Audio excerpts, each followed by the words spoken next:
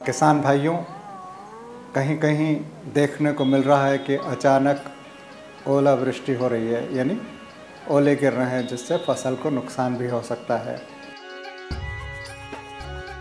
जैसे ही तापमान बढ़ते हैं, तेज़ हवा चलती है, हवा की गति जब बढ़ जाती है और हवा ऊपर की तरफ़ जाती है तो जो वातावरण में नमी है, वो ऊपर चली जाती है, इतनी ऊंचाई पे कि जो नमी है, वो जम जाती है और बर्फ़ बन जाता है। और जितना ऊपर जाएगा तो ओले का जो आकार है, वो बड़ा होता जाता है। तो इसीलिए आपने देखा होगा कि आधे इंच से लगा के डेढ़ दो इंच या और कभी कभी तो उससे भी बड़े ओले गिर सकते हैं।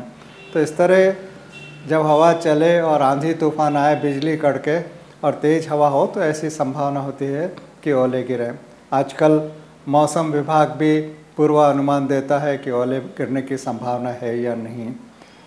वैसे तो ये अचानक होता है ओले गिरने का और ख़ास करके जो हमारे बड़े खेत हैं, उनमें कोई ऐसी संभावना नहीं होती कि हम ओलों से बचाव करें, लेकिन जहाँ फलदार खेत हैं या सब्ज़ियाँ हैं, उनके लिए ओलों के बचाव वाली नेट जाली भी आजकल उपलब्ध है। तो वो किसान भाई जो फल और सब्ज़ी कर रहे हैं, वो इसका लाभ ले सकते हैं।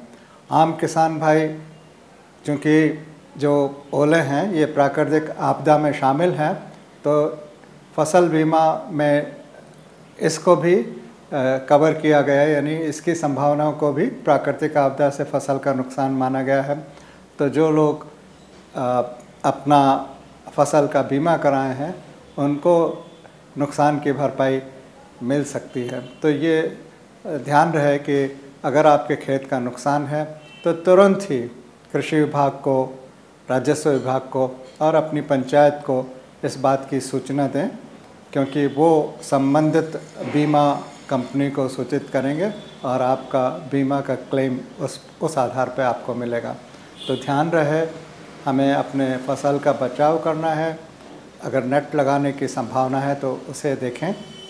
मौसम के पूर्वानुमान को हमेशा सतर्कता से जानने की कोशिश करें। और जो हमने बीमा करवाया है फ़सल का, उसकी भरपाई के लिए सूचना भी बहुत शीघ्र 24 घंटे के अंदर अंदर ज़रूर देनी होती है। तो ये सूचना भी आप संबंधित अधिकारियों को दें।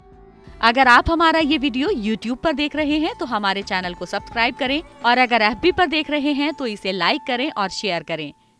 अगर आप चाहते हैं कि ग्रीन टीवी इसी तरह से किसानों को सशक्त करने के लिए कार्य करता रहे तो आप भी इसमें अपना सहयोग दे सकते हैं। डिस्क्रिप्शन पर जाकर दिए गए लिंक पर क्लिक करें पेटीएम करें एन और क्रेडिट कार्ड के ज़रिए भी आप हमें सहयोग दे सकते हैं।